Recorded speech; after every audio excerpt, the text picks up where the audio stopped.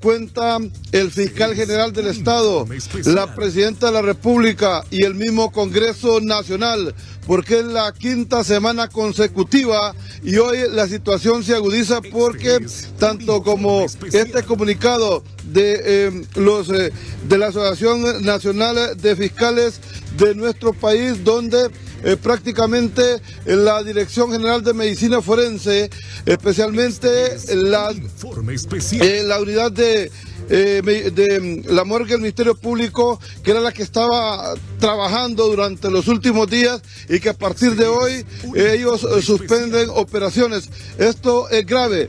¿Por qué? Porque la situación no le han puesto atención el Ministerio Público, el fiscal general, el presidente del Congreso Nacional, ¿dónde está ese presupuesto que le corresponde para el aumento del 15% a este personal que desde hace más de 10 años no lo han recibido? Hoy está completamente cerrado todo.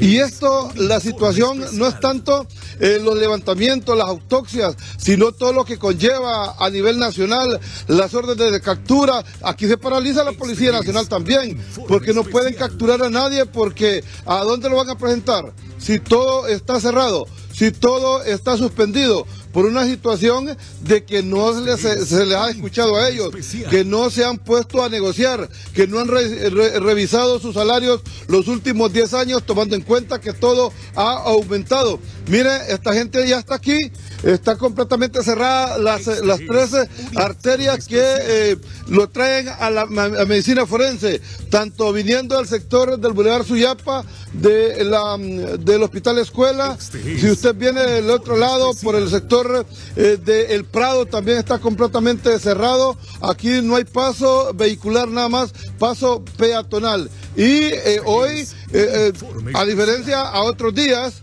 les voy a mostrar acá la puerta está cerrado aquí no se atiende a nadie y recordemos que aquí queda una oficina también de registro nacional de las personas, completamente cerrado. Otras veces se atendía, pero esto es porque ya lo adelantaron ellos. Se lo adelantaron a las autoridades y no les atienden. Ojalá que hoy los puedan llamar o que puedan sentar o que hoy salga humo blanco y les digan que el aumento va a partir de tal fecha, eh, porque esta gente están esperando desde hace mucho tiempo y hoy ya son cinco semanas consecutivas. José, solo venga por acá, por favor, solo queremos mostrar porque eh, permanentemente les hemos estado dando a conocer lo que ha pasado con eh, los empleados del Ministerio Público. Esta es una de las calles, mire, una de las calles que está completamente cerrado.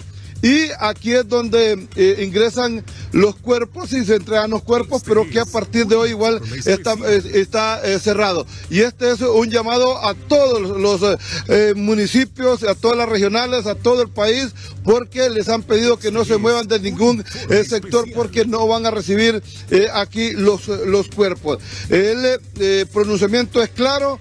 Ojalá que en las primeras horas de este día pueda cambiar algo. Más adelante nosotros vamos a tener al representante o el portavoz del Ministerio Público de los empleados, eh, ¿verdad? De los empleados, porque eh, ya institucionalmente eh, ellos no hablan, los portavoces institucionalmente no hablan, pero los representantes, el portavoz representante de los trabajadores con el abogado Héctor Reyes, estaremos hablando más adelante una vez que ya estén aquí en Medicina Forense para ver si en las últimas horas ha habido alguna comunicación, porque esto es, esto es ya una situación